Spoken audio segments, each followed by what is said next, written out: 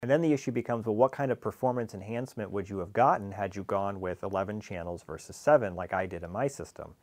And I would argue from my experience that while yes, the 11 channel system might sound a little bit more immersive, the difference is small compared to the compromises I would have to stay within budget and, and lessen equipment.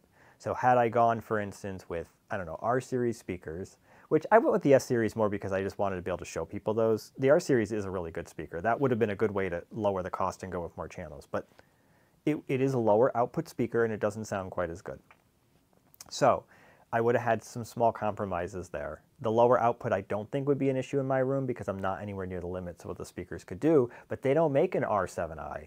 And I really wanted the vertical directivity capabilities of the 7 series. So I had to go with an S. But let's just say I went with the R 5i, again, I don't think I would have been at the limit of its output. I would have been okay. But then, like I said, I would have had to have gone to a higher channel count processor. That would have been very costly, and the whole system would have just gotten more expensive. So, like I said, my opinion would be that that's just not worth it.